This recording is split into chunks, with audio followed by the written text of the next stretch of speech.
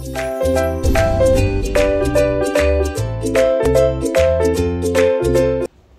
everyone. Today we are going to present our class project, which is about plants. In the project, we are going to talk about how plants are alive and how plants grow from seeds.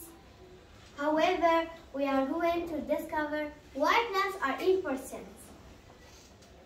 There are hundreds of thousands of different kinds of plants in Earth. All plants are alive. Plants are living things like all living things. They can grow and die and they can't live without air, food and water. They make their own food by using sunlight. Seeds need water and want to grow. Seeds need soil too. Seeds grow into young plants. We call it seedling. The roots of the seedling push down into the soil. They grow flowers and fruits. They make new seeds. Seeds will grow and start their new lives.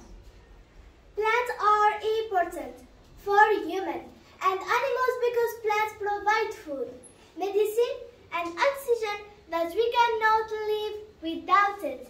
Plants also important as a source of raw materials as wood, rubber, as bamboo, and bamboo as baskets. So plants are very important to us.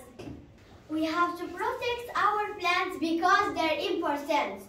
We hope that the topic of the plant work will be useful and added to us a lot of information about this beautiful being. This class project has been presented by Tabu Zuba.